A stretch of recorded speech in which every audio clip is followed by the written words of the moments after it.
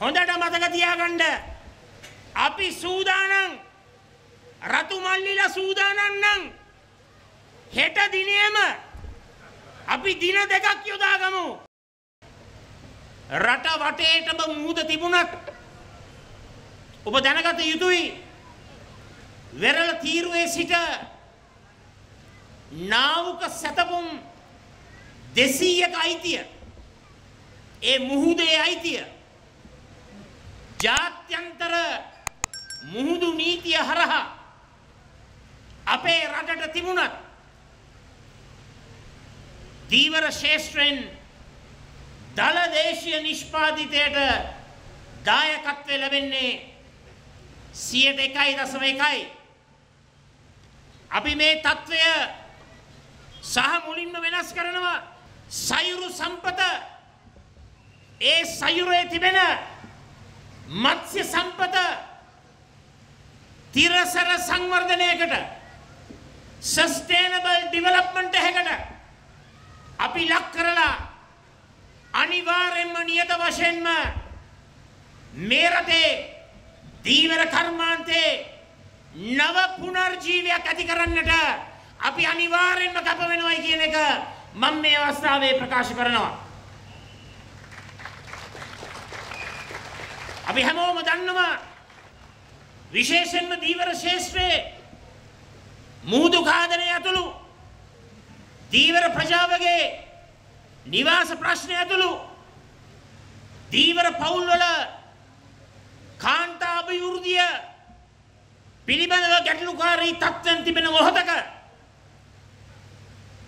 දීවර ප්‍රජාවට දීවර විශ්‍රාම වැටු ක්‍රමයක දැඩි ඉල්ලුමක් තිබෙන මොහොතක අපි ඔබට ප්‍රකාශ කරනවා අනිවාර්යෙන්ම නියත වශයෙන්ම දීවර ප්‍රජාවගේ මේ ඉල්ලුමට සවන් දීලා දීවර ප්‍රජාවගේ කුසගින්න බඩගින්න පිපාසය සංසිඳවන්නට කිසිම පුද්ගලික සහනාධාරයක් බලාපොරොත්තු නොවන දීවර ප්‍රජාවගේ ජන ජීවිතය ශක්තිමත් කරන්නට සුකිත මුදිත කරවන්නට අපේ රජය හරහා මේ වසර අවසානයේ බිහිවෙන පොදු ජන ආණ්ඩුව හරහා පොදු ජන ජනාධිපතිවරයා හරහා නියත වශයෙන්ම මේ රටේ ධීවර කර්මාන්තය මේ රටේ ධීවර ප්‍රජාව ගොඩගන්නවා ගොඩගන්නවාමයි කියන එක මම මේ අවස්ථාවේ ප්‍රකාශ කරනවා. ඔබ දකිනවා ඇති අපි අධ්‍යාපන පද්ධතියේ සූරු අධ්‍යාපනය පරිගණක විද්‍යාව තොරතුරු තාක්ෂණය ප්‍රවර්ධනය කිරීම සඳහා පාසල් මට්ටමින් දැවන්ත වැඩ කොටසක් කරගෙන යනවා. ඊයේ දිනේ දෙසිය විසි හතරවෙනි පාසලට සුහුරු පන්ති කාමර උපකරණ ලබා දුන්නා. උත්තලන් දිස්ත්‍රික්කේ හැම ප්‍රාදේශීය ලේකම් බල ප්‍රදේශයක්ම කේන්ද්‍රගත වන ආකාරයට අපි මේ වැඩසටහන් ක්‍රියාත්මක කරනවා පමණක් නෙවෙයි.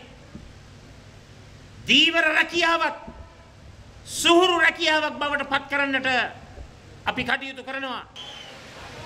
පහුගිය දිනක නටපු නාටකමක් තුලින් අපි හැමදාම කියපු එක සත්‍යයක් හෙළි වුණා.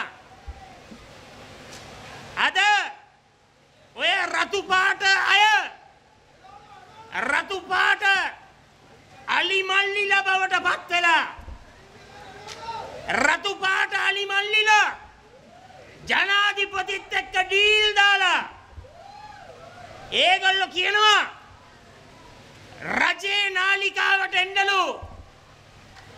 මට විවාද කරන්න. මම කියන්න කැමති සජිත් ප්‍රේමදාස විවාදකට ඕනම වෙලාවක සූදානම්. විවාදය පිළිබඳව බොරු කටකතා මත පතුරවනවා. විවාදය ඉස්සෙල්ලම යෝජනා කරේ නලින් බණ්ඩාර මැතිතුමා. එතුමා කිව්වේ ආර්ථික කමිටුවේ විවාදයක් තියමු කියලා. ඒකට බයේ රතු පාට හාදයෝ ටික කිව්ව නෑ නෑ. අපි නායක විවාදයක් තියමු කියලා. හොඳට මතක තියාගන්න.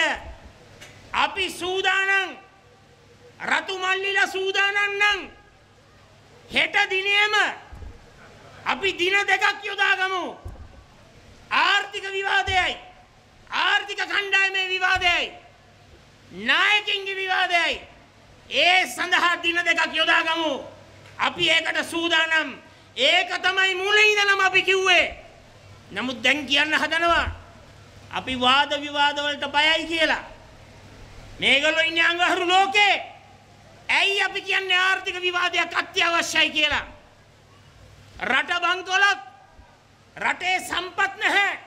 රටේ සල්ලි නැහැ. රටට රුපියල් නැහැ. රටට ඩොලර් නැහැ. රතු පාට මල්ලිලට ආර්ථික කණ්ඩායමකුත් නැහැ. ඒක නිසා තමයි ඒ විවාද වෙන්නේ නැත්තේ. මම කියනවා හෙට දින යොදාගමු විවාද දෙකටම අපි සූදානම් විවාද දෙකටම සහභාගි වෙන්න. ආර්ථික විවාදයේ තියලා ඕන්නම් ඊට දින තුනකට හතරකට පහකට පස්සේ තිමුණා එක විවාදය. අපි සූදානම්. නිකම් බොරු මත පතරවන්න යන්න එපා. ඉස්සෙල්ලාම රතු අලි පැටි නායකයා කාව් ළඟටද දුවගෙන ගියේ. තමන්ව රකින්න ජනාධිපතිවරයා ළඟට. එයා ළඟට ගිහිල්ලා කිව්වා අපිට ලොකු ප්‍රශ්නයක් තියෙනවා.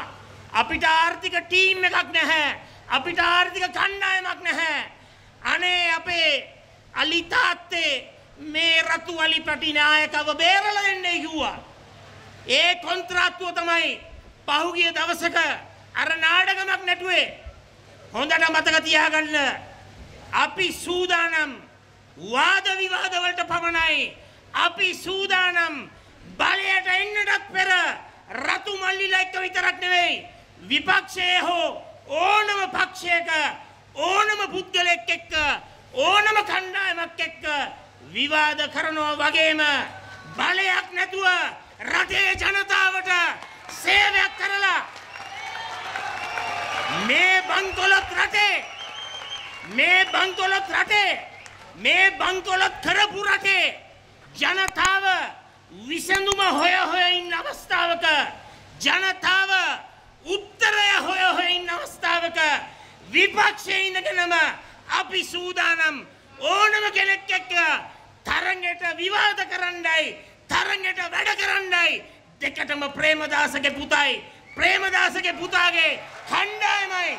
අපේ ටීම් එකයි. අපේ පක්ෂයයි. අපේ සන්ධානයයි. සූදානම් කියන එක මම මේ අවස්ථාවේ ප්‍රකාශ කරනවා.